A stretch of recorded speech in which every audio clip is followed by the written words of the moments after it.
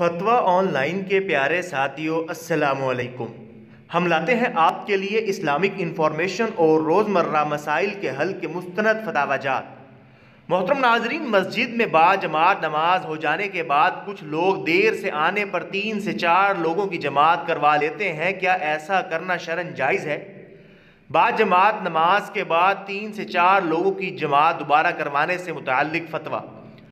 मोहतरम जनाब मुफ्ती साहब, अगर मोहल्ले की मस्जिद में नमाज़ बाद जमात हो चुकी हो, फिर जमात के बाद तीन से चार लोग आकर मस्जिद के सहन या किसी कोने में दोबारा जमात करवाना चाहें तो शरण इसका क्या हुक्म है?